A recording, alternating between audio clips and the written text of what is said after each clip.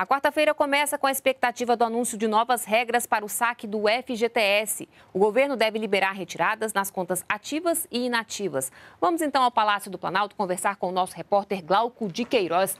Olá, Glauco, bom dia para você.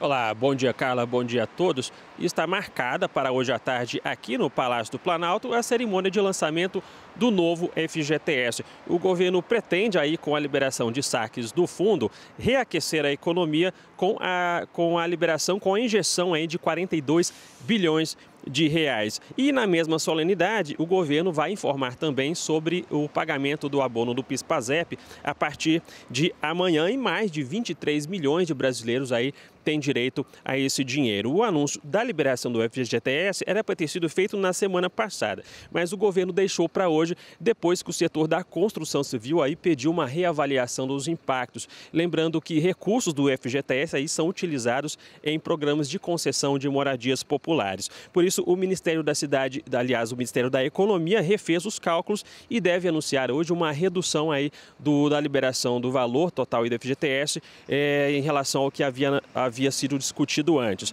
E essas informações todas foram adiantadas ontem pelo ministro da Economia, Paulo Guedes. Vamos ouvir o que ele disse.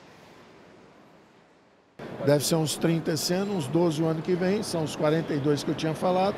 Só que vocês vão ver que há novidades, há coisas interessantes. O governo passado soltou só inativas. Nós vamos soltar ativas e inativas. Eles soltaram uma vez só.